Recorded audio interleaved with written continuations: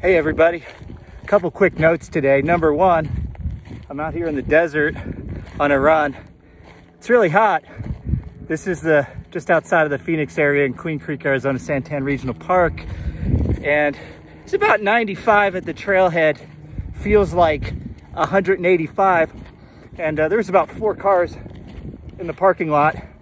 And incidentally, I ran across three mountain bikers. And then like, I think he was a trail worker or something with like work gloves and work boots on, just trudging through like it's nothing. I'm dying. And uh, so that was funny. Number one, when I started this run an hour ago, I was clean shaven. Number two, I saw a jackrabbit the size of my car. And number three, I'm pretty sure I did see a pterodactyl fly over earlier. Freaking pterodactyls. I do want to thank a bunch of you, all of you. Um, I asked an important question to a friend of mine this weekend, and number one, I've learned only recently that if you need help, just ask for it. And I need help with the big race next year. And uh, and then number two, if you're going to ask something personal like that, just just do it publicly in front of everybody that you know.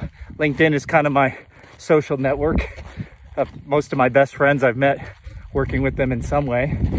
And uh, so I just want to thank all you who looked at those posts and gave your love and support and a few additional offers to help. And I'll tell you what, next year, next May, for that big race, I'll take all the help that I can get.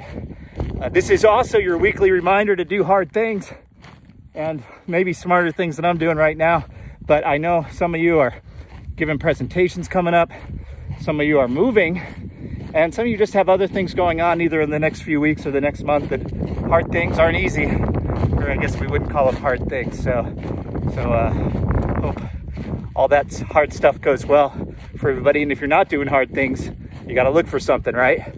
So, uh, last thing, happy Mother's Day uh, to all you moms out there.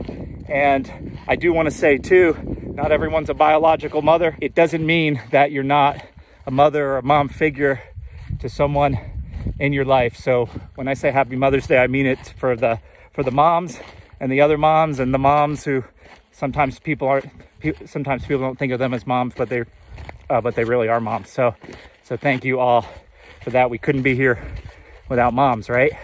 So anyway, I'm gonna try to start running again and and uh, oh, and stay hydrated. I'm gonna do that, and I want you to all do the same. And uh, I'll talk to you soon. Have a good one.